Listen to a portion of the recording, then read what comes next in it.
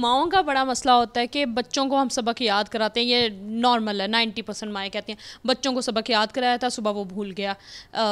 ठीक है कुछ इस टाइप के हेल्थ इश्यूज़ भी हो सकते हैं बच्चे को मेमोरी इश्यूज़ भी हो सकते हैं लेकिन कोई ऐसा वजीफ़ा जिससे बच्चे की मेमोरी तेज़ हो और वो सबक का मतलब बेचारी खपती रहती हैं पूरी पूरी रात पढ़ा के और बच्चे सुबह जाके कुछ नहीं लिख कर आते तो इसके लिए कुछ? देखिए एक तो हाँ, हर बच्चे की कैपेसिटी भी लर्निंग कैपेसिटी अलग होती है।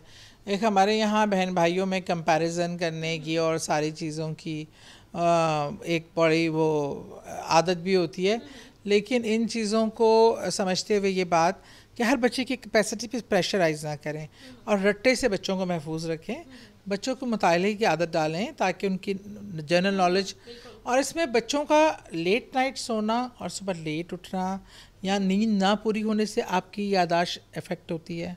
आपकी नींद बच्चे की पूरी होना रात सोने से पहले उनको एक दूध थोड़ा शहद अच्छा डाल के पिलाएँ और क्योंकि इसमें गज़ा भी बहुत इम्पोर्टेंट रोल करती है।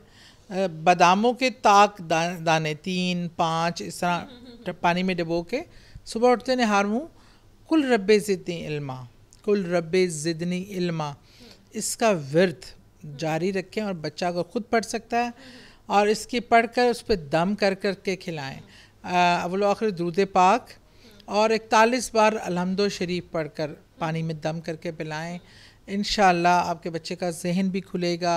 और और कुल रब ज़िदनी इल्मा का मैंने अपनी पूरी स्टूडेंट लाइफ में वर्त में ऐसा लगता था एग्ज़ाम के दिन में किताब खुल गई है सामने। अच्छा। इस तरह दिमाग रोशन और इल्म का शौक़ बढ़ता है। ये मेरे रसूल करीम वसल्लम की दुआ है वो जो इल्म हासिल करने और इल्म को पढ़ने के लिए फरमाते थे और इसमें बहुत तासीर है।